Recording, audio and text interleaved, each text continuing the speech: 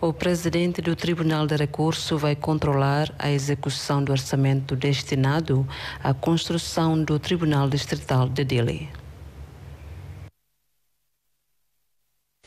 O presidente do Tribunal de Recurso, Deolindo dos Santos, reconheceu o atraso da construção do edifício do Tribunal Distrital de Dili, responsabilizada pelas empresas Sina Sandong International Economic e Technical Cooperation Group.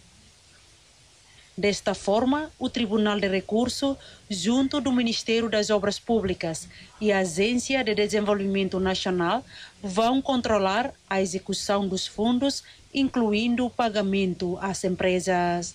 Delindo dos Santos disse que é preciso efetuar a fiscalização ao progresso da construção antes de fazer pagamento.